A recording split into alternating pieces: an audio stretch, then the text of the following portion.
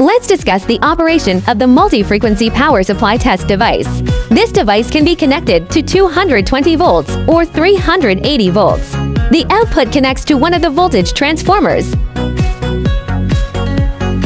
Generally, 20 and is sufficient. The compensation reactor wire is clamped to the other output groups. The compensation reactor is clamped to the empty group. Then, grounded the high voltage tail, ground the casings, ground the voltage divider, and ground the equipment. Select the frequency according to actual needs. Then test the voltage. If there is a voltage divider, select the voltage divider. I have a 35 volts transformer with a 100 to 3 ratio and a voltage divider. The capacity rise factor is O.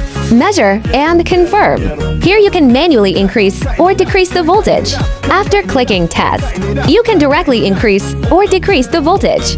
Mining is automatic. I just set it to 5.6 it will reach 56 and display a timer. The withstand voltage time is 40s. We selected 100 Hz as the frequency. You can print or save here.